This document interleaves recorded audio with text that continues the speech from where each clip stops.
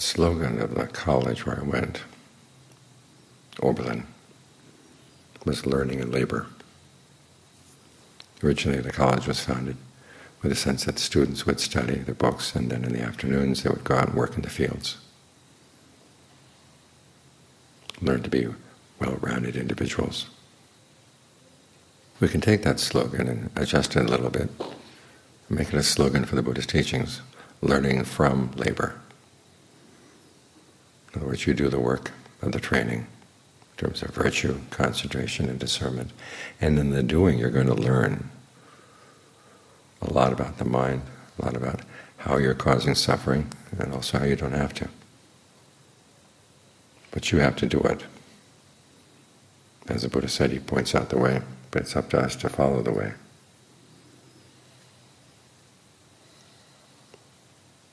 We don't just follow it in terms of following the rules or following the instructions with a guaranteed result coming out the other end.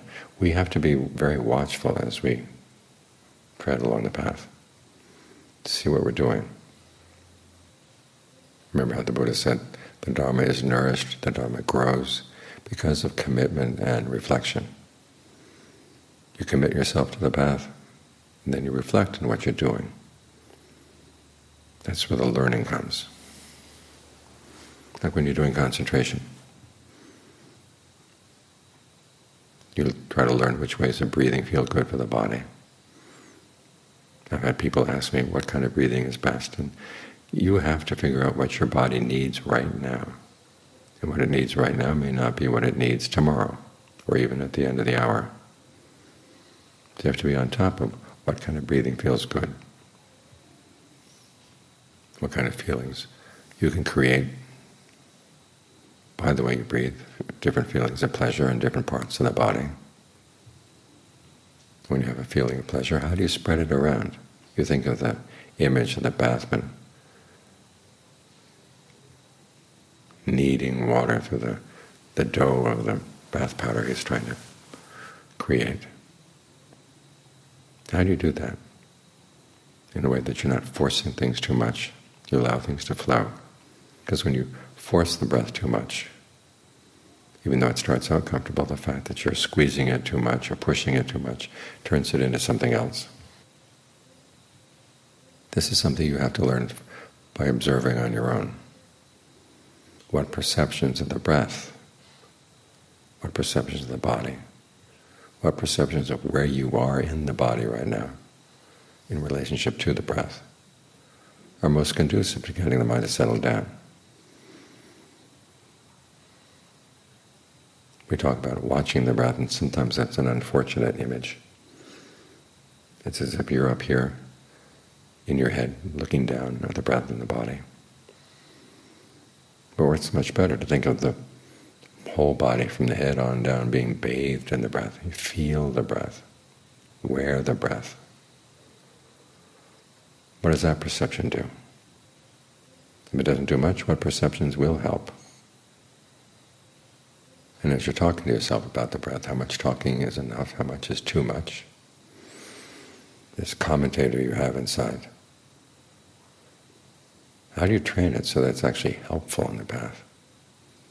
Again, I've had people asking me, what is this directed thought and evaluation I'm supposed to be doing? Well, you're doing it all the time. It's the way you talk to yourself, the way you prepare sentences in the mind. And if you talk to yourself in a toxic way, how do you learn to unlearn that toxic kind of conversation?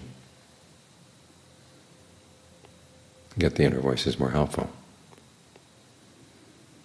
And your consciousness, where do you focus your attention? How do you create a consciousness that fills the whole body and yet is anchored? These are things you have to explore from within. And as you explore them from within, you begin to see this is how you create mental states, this is how you create physical states.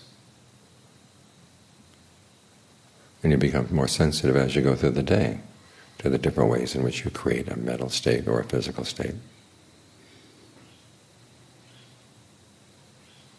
And you get to be, become a better judge of what kind of states are worth creating, which ones are not. Because in developing your powers of judgment, that's what the reflection is for. To gain a sense of where the effort is well spent and where it's not well spent. All this is meant to develop your powers of discernment. The fact that you see the state of concentration is constructed. In the beginning it's good news. You learn how to create a state of well-being in the mind.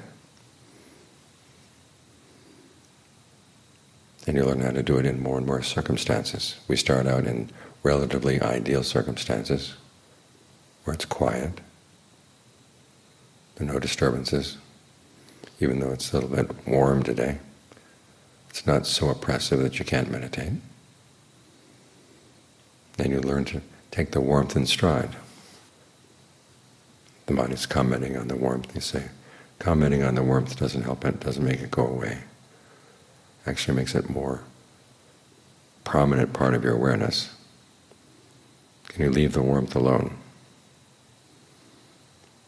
Like in Ajaan Chah's old statement, that if there are noises in the background, the noises are not disturbing you, you're disturbing the noise. In the same way, the heat is not disturbing you, you're disturbing the heat. Learn to think in that way.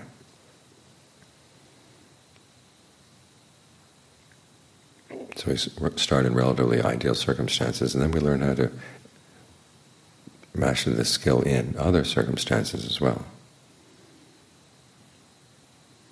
So we can tap into it when we need it. And we see how we construct it out of form, feeling, perceptions, fabrications, consciousness. And we can get the mind into very subtle states. You get so you can drop the direct thought and evaluation, just be with the sense of oneness, body, awareness, breath, feeling of pleasure, all one and filling the whole body. Whatever sense of rapture there is, after a while becomes too much, something of a burden. You want something calmer, more refined. You realize that there's a more refined level of energy in the body that you can focus on. It's like tuning your radio. The radio waves for hard rock are going through the air right now. The radio waves for classical music, big bombastic classical music, more calming classical music, they're all going through the air right now. Which ones are you going to tune into? Well, it's the same in the mind, in the body.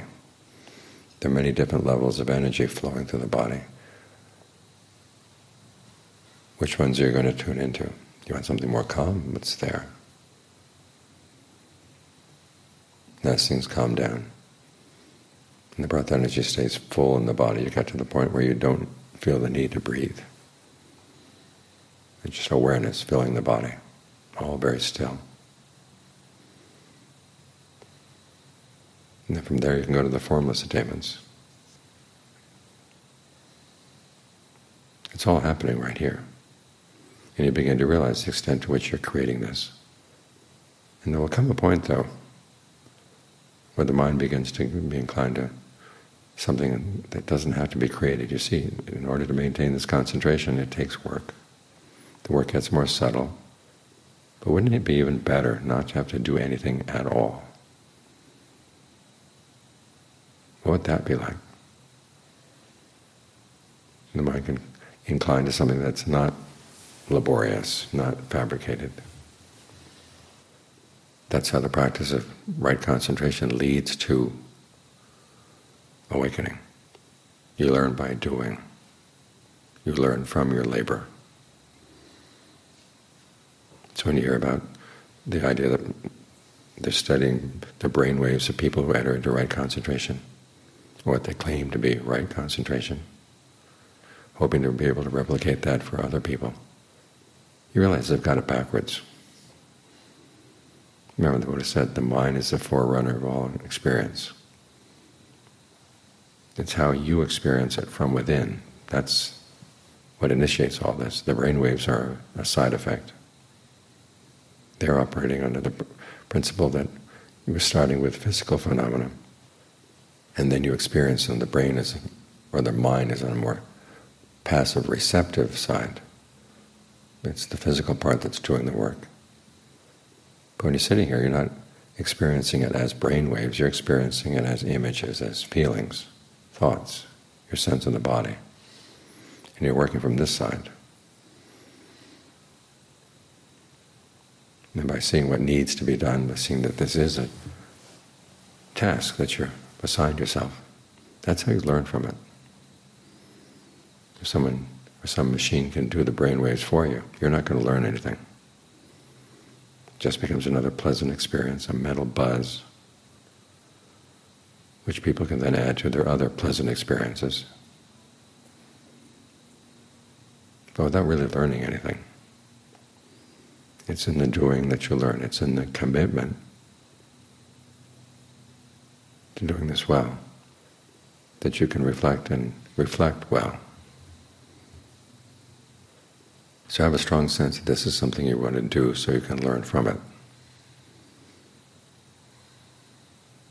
The Buddha said that concentration does function as a pleasant abiding.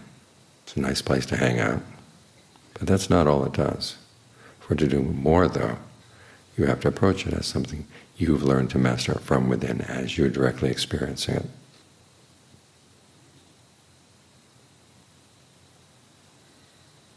And you get more sensitive as you get better at it. And your sense of what's a worthwhile pleasure gets more refined. And it's in the refinement that you develop that sense of disenchantment ultimately. And no matter how good the concentration is going to be, it still has to be maintained. There's no point where you can just ride. If concentration is all you're doing, you're going to need some discernment, the discernment that opens things up.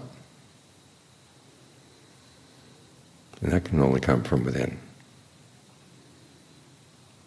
as a result of seeing what you're doing and getting more and more perceptive about what you're doing and the results that you're getting. So we can have concentration as a basis for mindfulness, concentration as a basis for supernatural powers, concentration as a basis for getting rid of the effluents. Where do the effluents come from? They come from within the mind. They're, as you directly experience them. You don't experience them as brain waves.